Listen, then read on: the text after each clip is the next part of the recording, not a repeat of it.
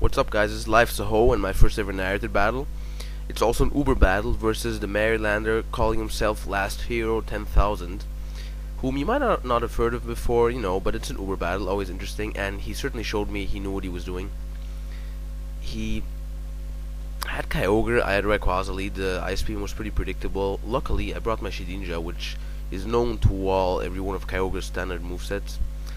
He um, went for the odd thunder. I have no idea why he did so. I missed my wow. Instead of wowing again, I go for the stupid Swords Dance. Um, which means now I have to sacrifice my focus sash to be able to wow Kabutops, which really cripples him. If this would have missed, I would have been very, very pissed, but luckily it hit, so that was amazing. Um, now we have a crippled Kabutops in our hand, who is still a beast in Rain Dance, especially in Permanent Rain. As he shows here, this is a offensive Arceus, and he with his attack half still does over 100 damage to me. That's very impressive. However, it means he can't beat me in the long run, obviously. He brings in Kyogre again. Huge offensive threat, I Cosmic Power Up. Um, I'm not sure at this point what stab move he has. Could have Water Spout, so I go on a safe side. And while he surfs me, I recover. Um, since he has surfed, this means he can't really beat me one on one, or it doesn't look that way anyway. So he switches back out, and turns out he has one of the only fucking five Pokemon in the metagame who are able to wall the set like nothing because they have a move which damages me at the end of turn and not like direct damage moves. And he also resists my Steel Judgment, which you should have figured out by now. And um, Will-O-Wisp doesn't hurt much. I decide to Wisp anyway while it sees me because it just cancels out the Rain Dish and Lefty's damage. And le uh, Leech Seed means that I'm now on the end of losing battle. So obviously I switch out. He can't really, I, I don't see him doing anything besides Surf. So I bring Rayquaza which resisted. I was still amazed that it only did so little because um, it is raining. But turns out his special attack is pathetic. He must have put everything in bulkiness. And from that calculation, I realized I can live an Ice Beam, even if this doesn't KO him. Turns out he did put everything in bulkiness, I didn't KO him.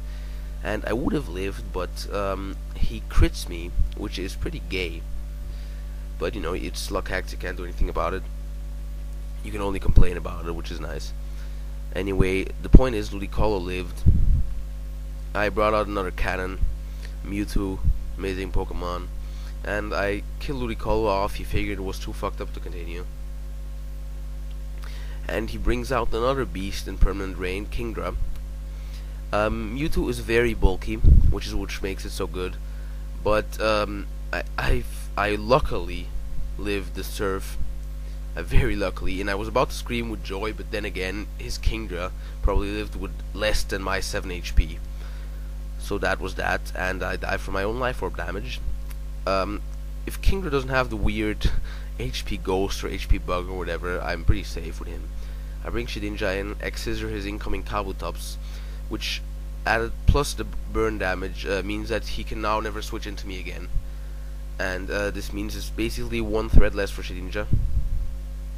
He predicts my switch out well and brings Kingdra back in.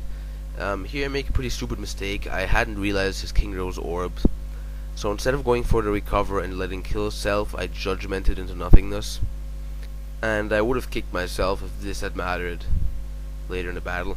Now, all that mattered in the short term is that with full HP, my Arceus would have been able to take on Kyogre.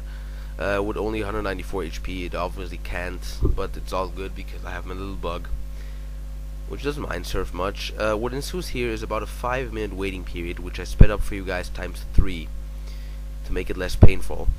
Um, in which uh, Last Hero 10,000 figured, oh my god, let's go check Smogon and Serebii and check all of Shedinja's weaknesses to see what of my remaining bench Pokemon can actually hurt it.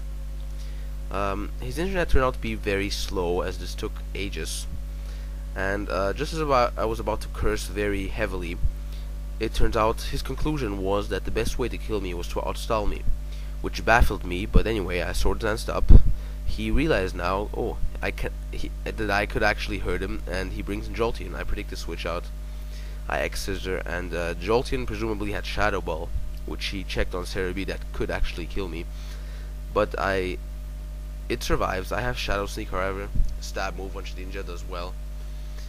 And um, despite me, uh, Shadow Sneak being stabbed and me having Swords Danced, I wasn't 100% sure if I could OKO Gengar. But looking at my bench Pokemon, Arceus was weakened and I had no other real wall. So something would have ta taken damage anyway. I decided just to go for it. And um, I Shadow Sneaked. Now if he is sashed, or if he takes it, I'm pretty fucked. But luckily none of both of those are the case. Uh, which makes this a Kabutops and Kyogre versus Shedinja battle. Uh, Kabutops dies to the easy Shadow Sneak, and now it's a rather comical battle between my bug and his huge water beast. Um, he decides, however, to be a pussy and not a real man and flee. Anyhow, good game Last Hero, 10,000. See you guys next time.